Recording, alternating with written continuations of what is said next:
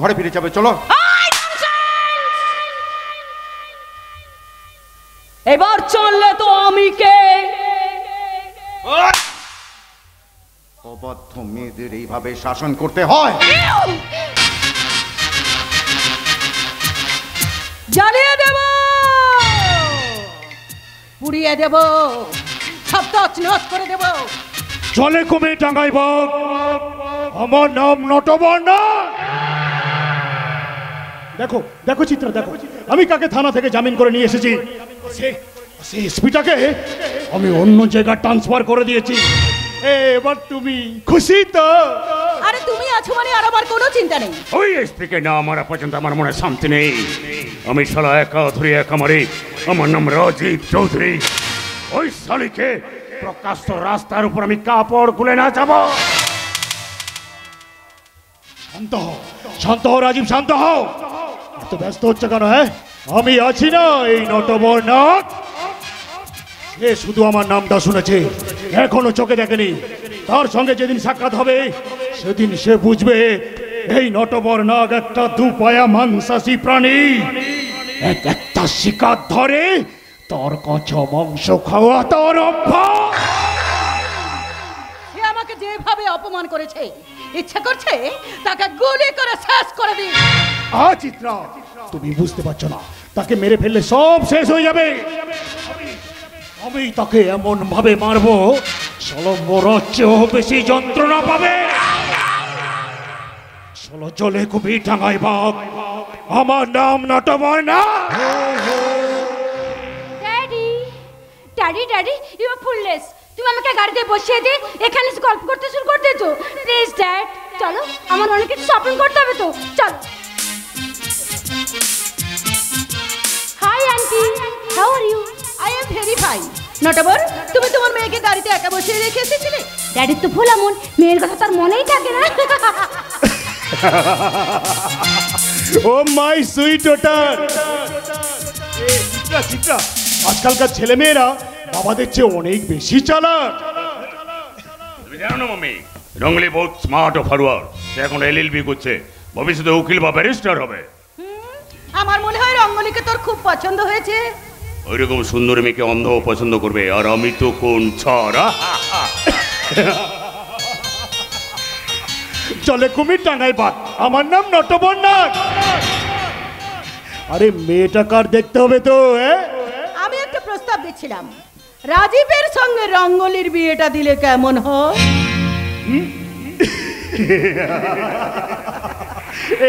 আমার তো কোনো অবজেকশন নেই।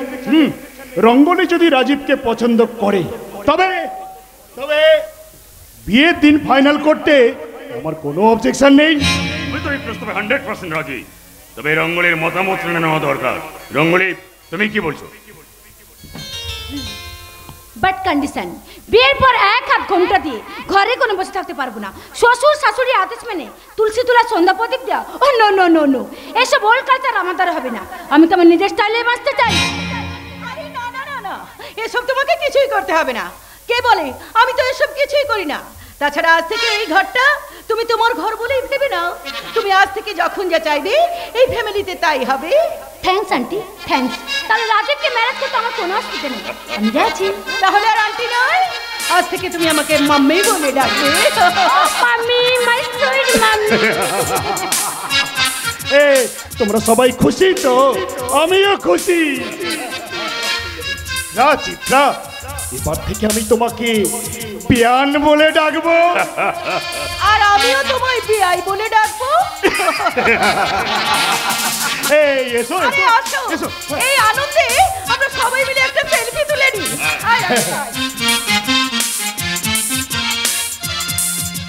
Stop stop! এসব কি হচ্ছে?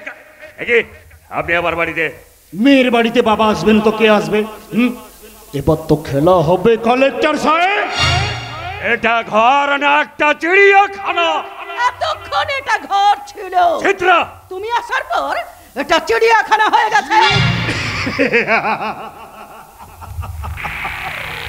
আরে বিয়াই বিয়ান তোমাকে কি সব বলছে?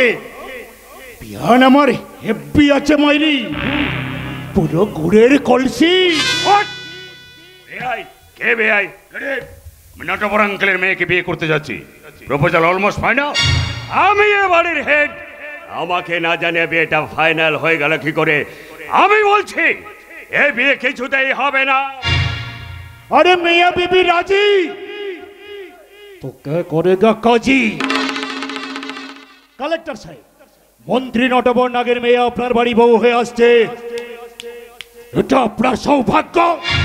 রণবীর চৌধুরীর বাড়ির বউ হওয়ার যোগ্যতা নটবর নাগের মেয়ের নেই। হোয়াট আপনি আমাকে অপমান করছেন। অনলি আমাকে বিয়ে করার জন্য ছেলেদের লম্বা লাইন পড়ে যায়। আমি রাজীবকে ম্যারেজ করতে রাজি হয়েছি মানে এটা আপনার সৌভাগ্য। আমি রঙ্গলিকে বউ করতে রাজি হয়েছি মানেই এই বিয়েটা ফাইনাল আরে বিয়েতে বাধা দিলে কিংবা আমার স্ত্রীকে ইনসাল্ট করলে তুমি তোমার ইজ্জত হারাবে কালেক্টর সাহেব।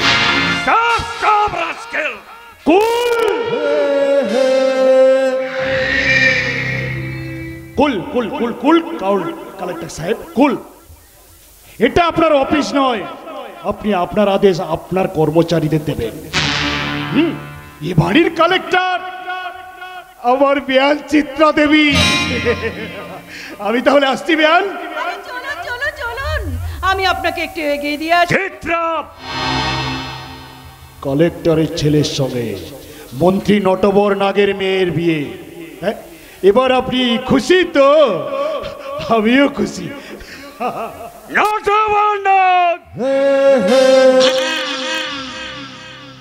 চলে কুমি তাই বাপ আমার না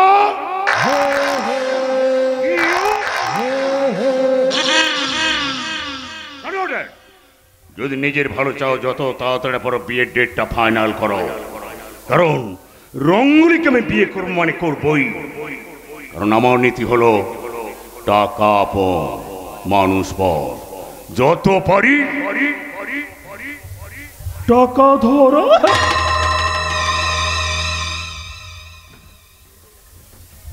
কি ভাবছেন কালেক্টর সাহেব? সারা পৃথিবী খুঁজলেও আমার মতো বৌমা পাবেন বলে আমার মনে হচ্ছে না। তাহলে আমাকে এবারে বউ করতে আপনার প্রবলেমটা কোথায়? আমার সবচেয়ে বড় প্রবলেম তুমি মন্ত্রী নটবর নাগের মেয়ে। হোয়াট যে গাছের মূলটা তেতো হয় তার পাতাটাও তেতো হয়। আপনাকে দেখে মনে হচ্ছে আপনি সুগারের পেশেন্ট? তেতো তো আপনার শরীরে লাগবেই। না হলে মাত্রাটা কমবে কি করে? আশা করি আমার কথার মানেগুলো আপনি বুঝতে পেরেছেন। চলি। চলি চলি বাই।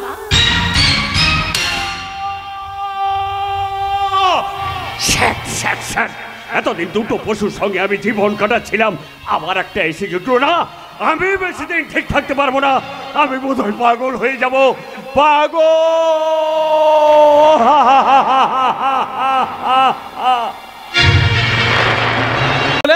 আমি তার হিসেব নিকেশ করতে যাব। সালা এটাকে ভুসিমাল দোকানে খাতা? যে মন্ত্রী আসবে হিসেব করতে? কিন্তু এসপি কোথায়? এখানে এসে শুনলাম আজ এসপি আসছে না তার মা আসছে। পরিবর্তে গরুর গাড়ি আসছে। কত হিসেব করবি কর? চাকা ঝুড়ি হাইল সব একটা একটা করে খুলে আরে ওই তো গাড়ির হর্ন শোনাচ্ছে। আসুন মা আসুন আসুন আসুন। আমি জিজ্ঞেস করছি তুমি কে? মেহু পুষ্পা। পুষ্পারাজ कोई आदमी का पास झुकेगा नहीं साला। কিন্তু আমি যেন আপনাকে কোথায় দেখেছি বলে মনে হচ্ছে আমি কিন্তু তোমাকে কোনোদিন দেখিনি কিংবা চিনিও না কিন্তু আমি যেন আপনাকে ঠিক চিনে হ্যাঁ হ্যাঁ, আ- আমি আপনাকে বিধানসভায় দেখেছি আমি কিন্তু কোনোদিন বিধানসভায় যাইনি তাহলে কোনো জনসভায় দেখেছি ওই তো মন্ত্রী মশাই আসছেন নারী কল্যাণ মন্ত্রী আসুন স্যার আসুন আসুন আজ এসপি আসেননি এসপির মা এসেছেন। উনি হচ্ছেন এসপির মা। নমস্কার। নমস্কার নমস্কার আমি নটবর নাগ নারী কল্যাণ মন্ত্রী। যাই বলুন মাইরি, মেয়ে একটা জন্ম দিয়েছেন জমতেও ভয় পায় না। কিন্তু মেয়ের মাকে দেখতে সেরকম কিছু মনে হচ্ছে না রে পুষ্পা। তবে মেয়েটা ষাঁড়ের মতো হলো কি করে? ষাঁড় নয়। ও একটা হিংস্র বাঘিনী। একেবারে সুন্দরবনের রয়্যাল বেঙ্গল টাইগার। আর আমার কাছে ও একটা কোহিনুর হীরা। কিন্তু হীরা তো কয়লা খনিতে থাকে। তুমি ঠিক বলেছ। কয়লা খনি থেকেই তো হীরা পাওয়া যায়। আবার সেই কয়লা ঘরকে পুড়িয়ে দেয়। কিন্তু হীরা হীরা ঘরকে সাজিয়ে দেয়। আমার মেয়ে সেই কয়লা খনির হীরা। কিন্তু আমি দেখব আমি দেখব সে হীরার মূল্য কত এবং দেখতে কেমন? তুমি ভুলে যাও না হীরা দেখতে যেমন সুন্দর তেমনি ভয়ঙ্কর। মুখে দিলে মৃত্যু অনিবার্য। তোর সেই মেয়ের মৃত্যু ঠিকুজিটা আমার হাতে লেখা আছে। এই কথাটা তুই তোর এসপি মেয়েকে জানিয়ে দিবি। সারা জলে কবি ডাঙাই বাঘ। আমার নাম নটবর না আবার কেউ কেউ বলে তুলসী বনের বাঘ। তুমি বাঘ নাও নাগ তুমি একটা ভীতু শিয়াল। মহাভারতের যুদ্ধ শেষ হতে আঠারো দিন সময় লেগেছিল কিন্তু এই কলির মহাভারতের যুদ্ধের প্রথম শঙ্খ বেঁচে গেছে। শেষ শঙ্খ বাজার অপেক্ষা করো। দেখবে কার মৃত্যু কার হাতে লেখা আছে। স্যার স্যার আমার মনে হয় মেয়েটার আগে মাটাকে সাজতা করতে হবে কারণ গাছটা কাটা হয়ে গেলে ডালাটা এমনিতেই কাটা হয়ে যাবে। এর মধ্যে চামচা পাঁচাটা কুত্তা শট বাঘিনীর পেটে বাঘিনীরই জন্ম হয় শিয়ালের নয়। কিন্তু দেখব? কিন্তু দেখব? বাগিনীটা সত্যিকারের বাগিনী না ধর্মতলা ফুটপথ থেকে কেনা খেলনা বাগিনী? দেখি তোর মুখটা। মুখটা। এই মুখটা তুমি সেদিন দেখবে, যেদিন আমার মেয়ের সঙ্গে তোমার সামনাসামনি মোকাবিলা হবে। সেদিন আকাশটা তোমার মাথায় ভেঙে পড়বে, পায়ের তলার মাটি সরে যাবে। কাল বৈশাখীর প্রলয় ঝড়ে তোমার সব কিছু লন্ড ভন্ড হয়ে যাবে। শিখণ্ডীকে দেখার পর বিশ্বদেবের যে অবস্থা হয়েছিল, তোমারও সেই অবস্থা হবে। মৃত্যু এই এখন দেখছি মেয়ে দুজনেই আমার হাতে মরবি। তোদের মৃত্যুবনটা রাখা আছে আমার এই পকেটে।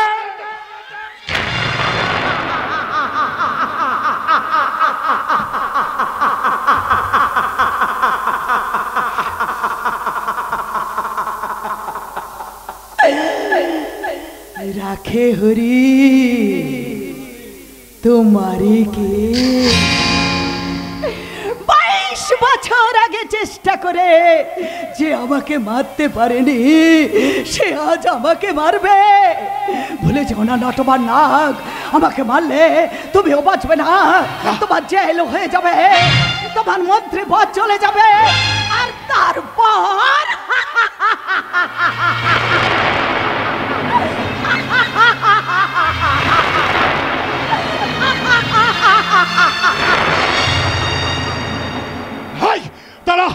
শোন স্যার স্যার কথাগুলোর মানে বুঝতে পারলেন? বাইশ বছর আগে কে কে এই মহিলা? শোনো যেভাবে হোক ওই এসপির সঙ্গে মোলাকাত হওয়াটা আমার দরকার। তখন তাকে বুঝিয়ে দেবো সারা জলে কমে টাঙাই বাঘ। আমার নাম নটাবা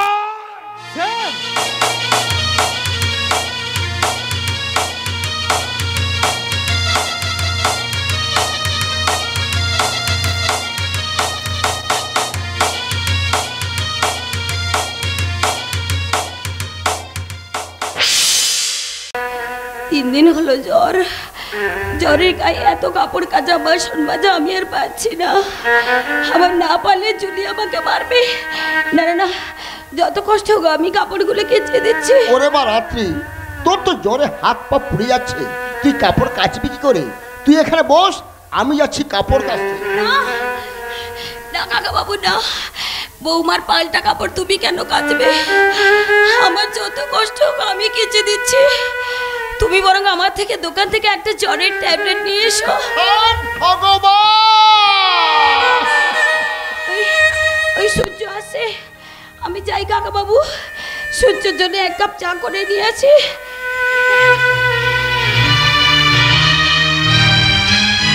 এই সূর্য শোন। আহ যত সব। পেছনে টাকা বদ্ধ অভ্যাসটা তোমার এখনও গেল না বাবা। ডাকছে কথা। বলো কি জন্য ডাকছিলে? আমাকে দশটা টাকা দে না রে। হোয়াট দশ টাকা? কি করবে দশ টাকা নিয়ে? রাত্রি জ্বর হয়েছে ওষুধ নিয়ে আসব। সে সুস্থ না হলে রান্না বান্না কে করবে? হ্যাঁ সে তার ডিউটি করবে নয়তো কি? শুধু বসে বসে গিলবে না না না আমি সে কথা বলছি না। তবে কি কথা বলছো? আমার কাছে ওষুধ কেনার মতো একটাও টাকা নেই। সূর্য কেন? একদম বিক্রি হয়ে গেছো। আরে পরের বাড়িতে কাজ করে তো দু পয়সা ইনকাম করতে পারো। তাছাড়া ওই পরের মেয়ের জন্য আমি একটা টাকাও খরচ করতে পারব না। জুলিক এই জুলিক তাড়াতাড়ি আমার জন্য এক কাপ চা পাঠাও তো। সূর্য তুই এতখানি বদলে গেছিস। ওই বইয়ের পাল্লায় পড়ে তুই হয়তো আরও বদলে যাবি রে সূর্য আরও বদলে যাবি। আহ তুমি চুপ করবে। জুলিক আরে কি হলো? তাড়াতাড়ি আমার জন্য এক কাপ চা পাঠাও। এই যে কাকাবাবু এত ডাকছি তবু শুনছেন না শুনলাম রাত্রি নাকি জ্বর হয়েছে? হ্যাঁ বাবা। এই নিন কাকাবাবু ওষুধটা নিন। আকাশ তুমি ওষুধ এনেছো কিন্তু ওষুধের দামটা দেবো কি করে বাবা? টাকা লাগবে না কাকাবাবু মানুষকে ভালোবাসলে টাকার প্রয়োজন হয় না। আমরা বাঙালিরা আমরা বাঙালিরা একে অপরের সাহায্যের জন্য সব সময় ছুটে আসি। আকাশ নিজের ছেলেটা যেখানে দশটা টাকা দিল না তুমি পর হয়ে আমাদের জন্য? আমাকে আপনি পর ভাবছেন কেন কাকাবাবু? মনে করুন না মনে করুন না আমি আপনার আরেকটা ছেলে। থাক থাক দাতা কর্ণ বা দানবীর হরিশ্চন্দ্র সাজতে হবে না। সূর্য আমি দাতা কর্ণ বা হরিশ্চন্দ্র নই আমি একজন মানুষ। মানুষ হয়ে মানুষের পাশে দাঁড়ানোই যে আমার কর্তব্য। আকাশ কাকাবাবু জন্ম থেকে আমি পিতৃ মাতৃহারা। আপনাদের আপনাদের আদর ভালোবাসে যে আমাকে আপন করে নিয়েছে। কাকাবাবু কাকাবাবু আমি চাকরি ডিউটিতে জয়েন করার জন্য শহরে চলে যাচ্ছি। তাই আপনার আশীর্বাদ নিতে এলাম। ও হ্যাঁ হ্যাঁ, রাত্রিকে বলবেন তার সঙ্গে আমি দেখা করতে এসেছিলাম কিন্তু আমার দুর্ভাগ্য তার সঙ্গে দেখা হলো না। আমি আশীর্বাদ করি। তুমি বড় হও তুমি সুখী হও তোমার স্বপ্ন সার্থক হোক। আকাশ। যখন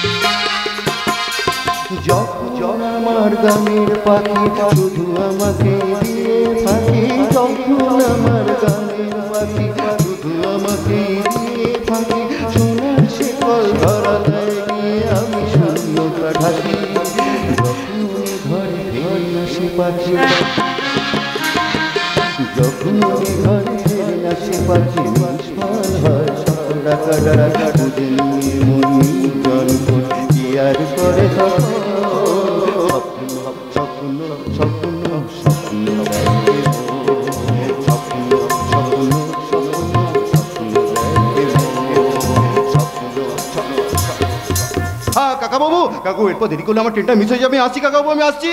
আকাশ এতক্ষণ হলো কাপের কাছে হয়নি সূর্যের জন্য চা বানানো হয়নি শুধু বসে বসে গিলছিস আর ঘুরছিস। দিদি আমার শরীরটা খুব খারাপ। তিন দিন হলো জ্বর হয়েছে। আরে কুষ্ঠ তো হয়নি। এই শোন এই বাড়িতে থাকতে হলে না কাজ না করলে তোর খাওয়া বন্ধ। কি হলো? বসে আছিস কেন? যা। ওই কাপড়গুলো পরিষ্কার করে দিয়ে রান্না করবি যা। প্রতিটা কাজে ঢুকে নি কানের গোড়ায় দিয়ে দিলে ঠিক কানে শুনবে বৌমা মেয়েটার জ্বর হয়েছে। আজ ওকে একটু বিশ্রাম দাও। বিশ্রাম? দেখাচ্ছে মজা। খবরদার বৌমা রাত্রির গায়ে হাত ওঠালে আমি তোমার হাতটা ভেঙে দেবো। তারা দুধলে উঠছে। কাজ করবে না শুধু দোলনায় দোলে মন্ডা মিঠাই খাবে। কি করে দোলনায় দুলবে? সে দোলনা তো তোমরা ছাড়িয়ে নিয়েছো। আহ কাকা বাবু কেন তুমি অশান্তি সৃষ্টি করছ? আমার দিব্যি তুমি ওদের কিচ্ছু বলো না কিচ্ছু বলো না। তুমি ব্যস্ত হইও না আমি তোমার কাপড়গুলো কেচে দিচ্ছি। শুধু কাজ করলে হবে না। প্রতিদিন খাবার বাবদ দুশো টাকা সন্ধ্যের মধ্যে আমার হাতে তুলে দিতে হবে। নাহলে দুজনের খাওয়া বন্ধ। উপবাস করে থাকতে হবে। সূর্য, ভেতরে এসো। চলো চলো চলো আরে, আমার বউ কি বলবে বলে বুঝতে পারলে তো? রোজ দুশো টাকা রোজগার করতে হবে। না হলে তোমাদের দুজনের এই বাড়িতে খাওয়া বন্ধ। আর মনে রাখবে, রোজ দুশো টাকা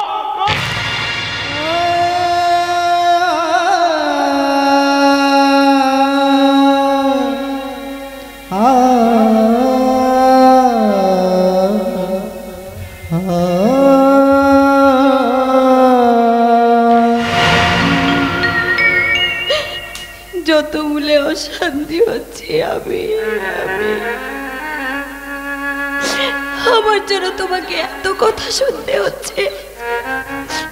আমি মরে গেলে সব ঠিক হয়ে যাবে। না মা না। তুই কেন মরে যাবি? বরং আমি ঘর ছেড়ে চলে গেলে সবার ভালো হবে। তুমি কোথায় যাবে কাকা বাবু? শহরে যাব। চাকরের কাজ করব। টাকা রোজগার করতে হবে তো টাকা। এই বয়সে তুমি চাকরি কাজ করবে কাকা বাবু। তুমি যা জিনিস হয়ে গেছো কাকা বাবু। ওরে মা, তুই কোনো চিন্তা করিস না। অভাগা যেদিকে যায় সাগর শুকায় যায়। সেই ছোট্টবেলা থেকে নিজে জল খেয়ে সূর্যকে দুধ খাইয়ে বড় করেছিলাম। সেই সূর্য আমাকে না খাইয়ে মারছে। ওরে মা, কি কপাল গুনে এমন ছেলের জন্ম দিয়েছে মা। আর চোখে চলে অতীতকে ভিজে কোনো লাভ নেই কাকা বাবু সমাজ সভ্যতা লাভ হিসেব চলেছে। আর সেই লাভ লোকসানে যাতা করে পড়ে তুমি যা ছট করে মরছো কাকা বাবু।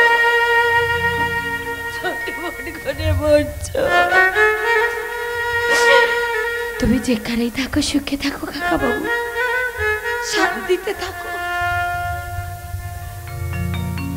ওরে মা তুই ভালো থাকিস। আমি হাসছি রে মা। আমি। কাকা এখানে দাঁড়িয়ে দাঁড়িয়ে রং দেখাচ্ছে? রান্না করবি কখন?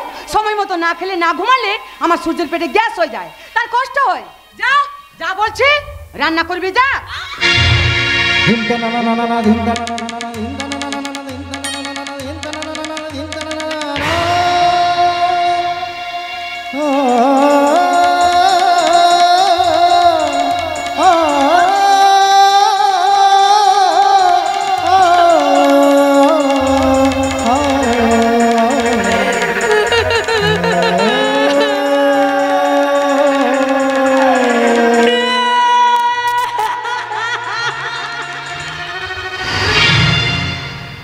Bravo bravo bravo.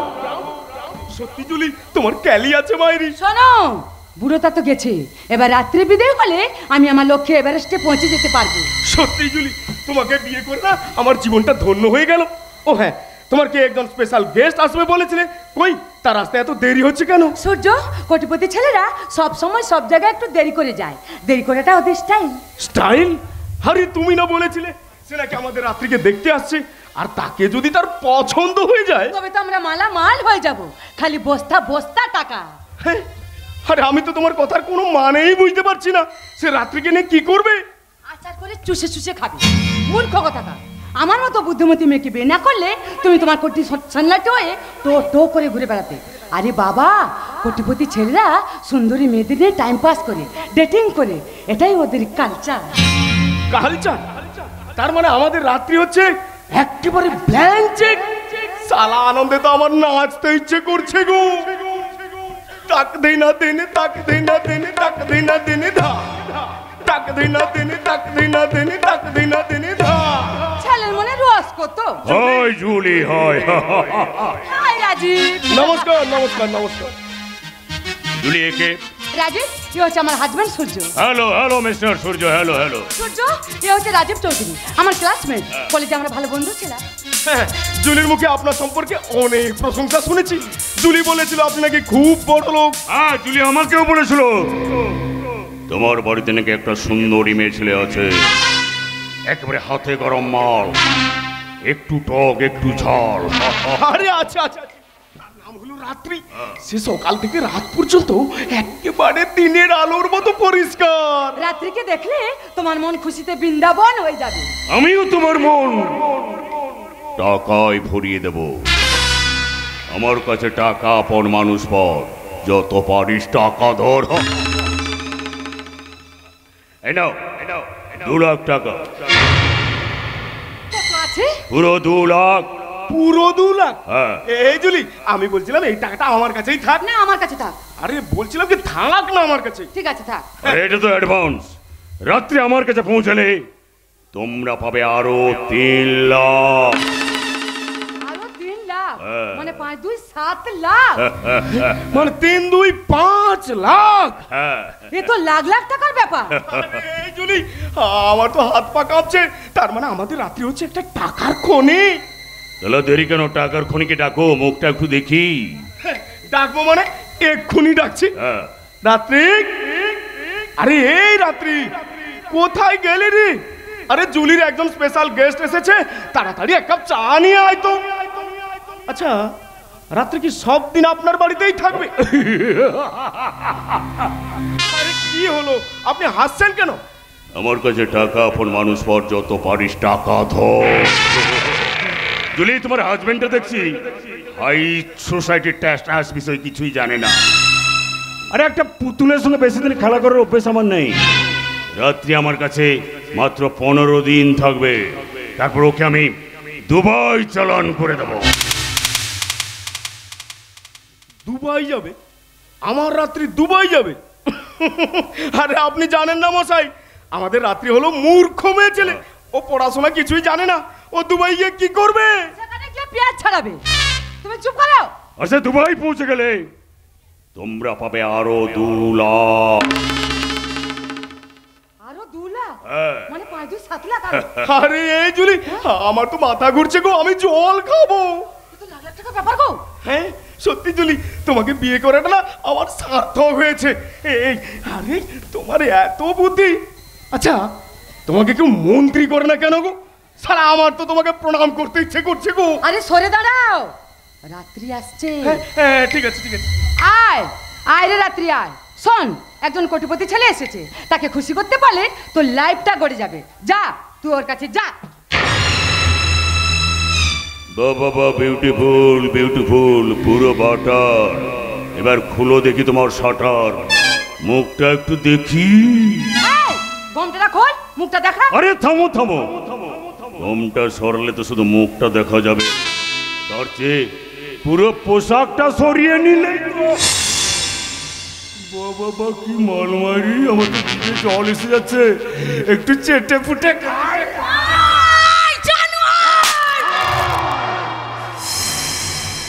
আমি শালা একা ধরে একা মারি আমার নাম রাজীব চৌধুরী। তপ্ত মরুভূমির বুকে শীতল বাড়ি ধারা নয়নে তুই আগুন জ্বালিয়ে মরুভূমিটাকে আরও উত্তপ্ত করে দিলে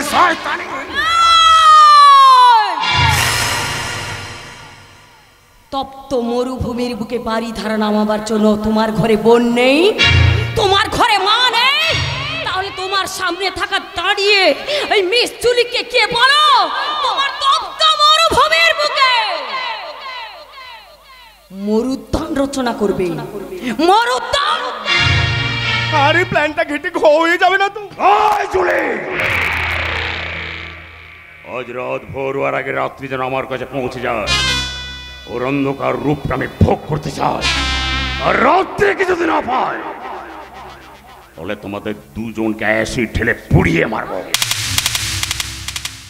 কথাটা যেন মনে থাকে হ্যাঁ?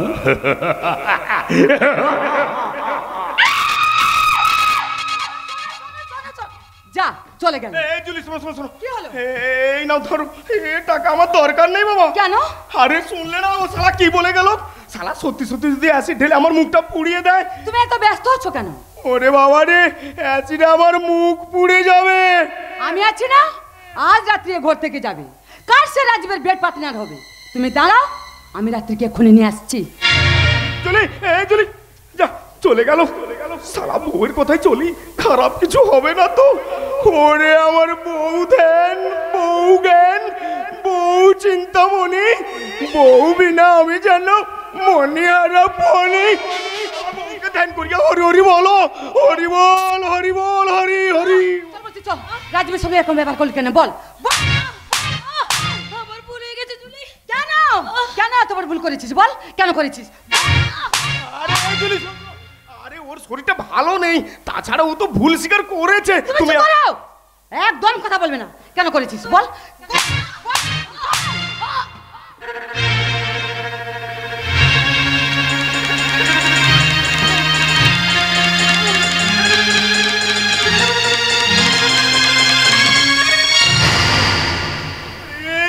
এ তুমি কি করলে? রাত্রি যে পুরো সেন্সলেস হয়ে গেছে। ভালো হয়েছে। মানে? চলো। আর দেরি নয়। ঘর থেকে দড়িয়ে নে ওর হাত পা বেঁধে রাত্রে অন্ধকারে রাজবীর কাছে পৌঁছে দিই। চলো। আরে এই শোনো জুলি এত ঝামেলায় কি লাভ? আমি বলছিলাম তুমি তার টাকাটা ফিরিয়ে দাও। তুমি চুপ। একদম কথা বলবে না। ঠিক আছে। চলো চলো। বলছি চলো।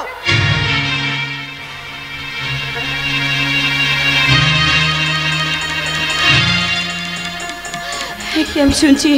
এরা আমাকে বিক্রি করে দেবে বলছে। কাকা বাবু ঘরে নেই। তাহলে এখন আমি কি করব? ঠাকুর, তুমি বলে দাও, ঠাকুর, আমি কি করব? না না আমি স্টেশনে চলে যাব। যে কোনো ট্রেনে উঠে কোথাও না কোথাও চলে যাব আমি। আমি থাকব না।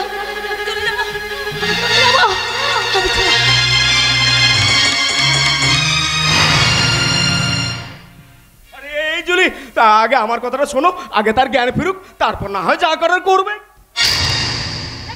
রাত্রি তো এখানেই ছিল। কোথায় গেল? আরে আমিও তো সেই কথাটাই ভাবছি। মেয়েটা গেল কোথায়? আরে দাঁড়িয়ে না থেকে। তাড়াতাড়ি খোঁজো সে কোথায় গেল?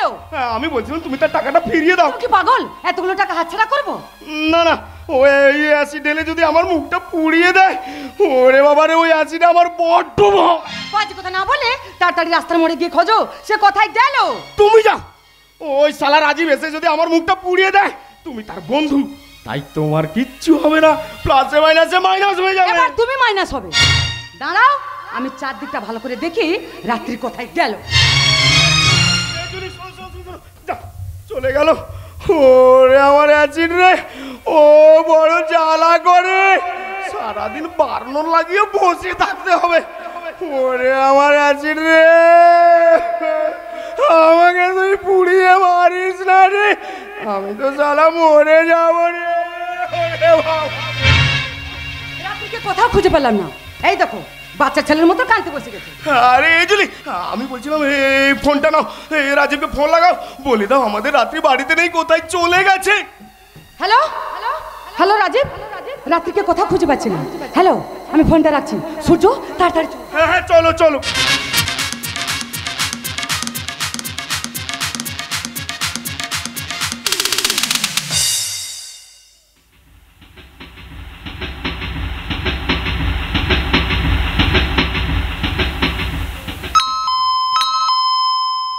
যাত্রী प्रिपेयर ध्यान दें गाड़ी संख्या सात शून्य एक छः दो पाँच पूरी हावड़ा धौली सुपरफास्ट एक्सप्रेस दो घंटा विलम्ब से चल रही है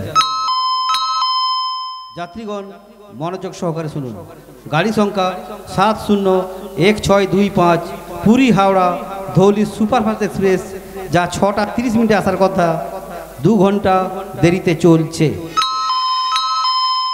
ও মাই গড দু ঘন্টা লেট এরপর এরপর হাওড়ায় পৌঁছবো কখন? তারপর তারপর কাল সকাল দশটার মধ্যে আমার নতুন চাকরির ডিউটিতে জানো। নো নো নো নো কি করে যে পৌঁছাবো? বাসে যাব। না জ্যাম ও, ভালো লাগে না। কি করে যে কি করে যে আমি পৌঁছাবো বুঝতেই পারছি না।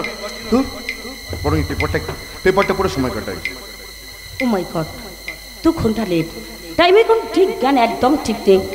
কী যে করব আমি এখন? মাও আসছে না এতক্ষণ না একটু খবরের কাগজটা পড়ুন করি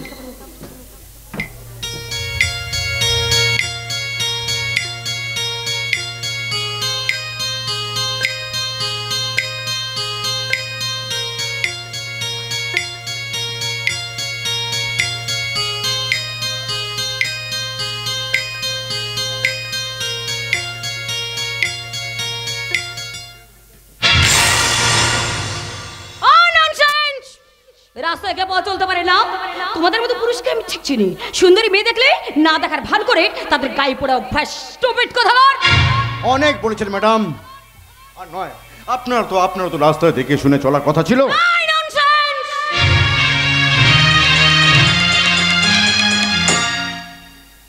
ওই মিস্টার ওভাবে কি দেখছেন? রাত্রি? রাত্রি? আপনার মাথাটা একদম খারাপ হয়ে গেছে। এই দেখুন ঘড়িটা সন্ধ্যে সাড়ে ছটা বাজে। দেখেছেন? রাত্রি তুমি এই সময় একা স্টেশনে? কোনো কাজ আছে নাকি? আমার মনে হয় আপনি রাঁচির পাগলাগারো থেকে এসেছেন। স্টুপিড কথা। রাত্রি সত্যি কথা না বলা পর্যন্ত তুমি এখান থেকে কোথাও যেতে পারবে না। হাতটা ছাড়ো। না ছাড়বো না। ছাড়ো বলছি। না। ছেড়ে রাত্রি যে হাত ধরে আমি সারা জীবন চলবো ঠিক করেছি সেই হাত আমি এত সহজে ছাড়ি কি করে? হাতটা ছাড়ো। না ছাড়বো না। ছাড়ো বলছি। না, ছাড়বো। রাত্রি প্লিজ রাত্রি প্লিজ এভাবে তুমি আঘাত করো না। তোমার তোমার সর্বনাশের কথা আমি চিন্তাও করতে পারি না। বলো বলো সূর্য রাত্রি তোমাকে কিছু বলেছে? ও নো নো নো বিরক্ত না করে এখান থেকে চলে যাও? চলে যাও বলছি। সত্যি কথা না বলা পর্যন্ত তুমি এখান থেকে কোথাও যেতে পারবে না। চলো ঘরে ফিরে যাবে চলো! এবার চললে তো আমি কে? অবাধ্য মেয়েদের এইভাবে শাসন করতে হয়। তুমি আমার গায়ে তুলেছো না? তুমি আমার গায়ে হাত তুলেছো? তুমি আমাকে চেনো না তুমি আমাকে চেনো না আমি এসপি নিশা রায়। তোমার মতো মানুষকে আমি জ্যান্ত চিবিয়ে চিবিয়ে খাওয়াই। তুমি? হ্যাঁ আমি এসপি নিশা রায়। আমি SP Nisha Roy. This is my identity card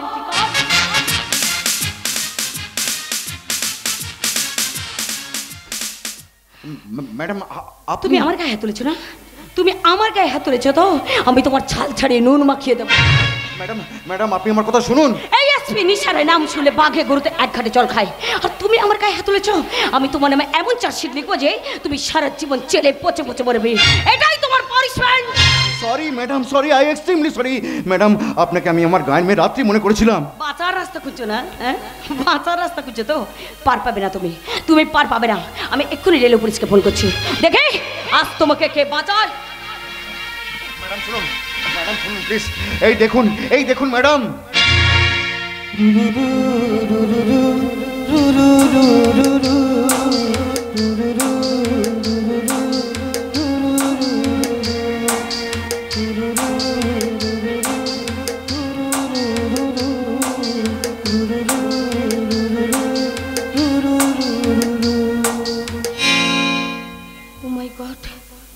দুটো ছবি হুবহু দেখতে একই রকম হয় কি করে? এই ছবিটা তোমার কাছে এলো কি করে? এই ছবি আপনার নয় ম্যাডাম। এই ছবি আমার গায়ের মেয়ে রাত্রি যাকে যাকে আমি খুব ভালোবাসি কিন্তু সে আমাকে তো অবিকল আমার মতো দেখতে। হ্যাঁ এই জন্য তো ম্যাডাম এই জন্য তো ম্যাডাম এতক্ষণ ধরে এতগুলো কথা বলে গেলাম। Sorry madam I extremely sorry no I am very very sorry madam madam Dum Dum থানায় আমার নতুন পোস্টিং হচ্ছে কাল সকাল দশটায় আমার জয়েন্ট পোস্টিং হয়ে আছি। আমার থানাটা তোমার আন্ডারেই পড়বে। আমার sorry madam sorry I extremely sorry madam madam প্রথম দেখা আপনাকে না জেনে না চিনে গায়ে তুলে বলেছি আপনি আপনি আমাকে সাসপেন্ড করবেন না তো? But one condition condition yes আজ থেকে আমরা only friend friend friend madam ডিউটির সময় আমার আমার অফিসার আর অন্য সময় আমরা only friend friend friend Madam. Come on second second. হ্যাঁ নামটা যেন কি? আকাশ। আকাশ। আকাশ। আমার প্রচণ্ড খিদে পেয়েছে কিছু খাবার নিয়ে এসো না গো। ম্যাডাম আপনি একটু অপেক্ষা করুন আমি এক্ষুনি গিয়ে আপনার জন্য খাবার নিয়ে এসেছি কেমন? আকাশ তাড়াতাড়ি এসো কিন্তু। আমার একা একা খুব বোর লাগবে। হ্যাঁ ম্যাডাম আপনি একটু ওয়েট করুন আমি এক্ষুনি যাব আর আসব হ্যাঁ? কি রাত্রি? কি তার নাম পরিচয়? ওই রাত্রি ছবিটা দেখার পর আমার বুকের ভেতর যেন কোনো আপন আপন মনে হচ্ছে। কিন্তু কি রাত্রি কি রাত্রি কি রাত্রি করব মা তো এতক্ষণ এলো না। কি যে করব আমি এখন? না, যাই, একটু ফ্রেশ হয়ে নি। নি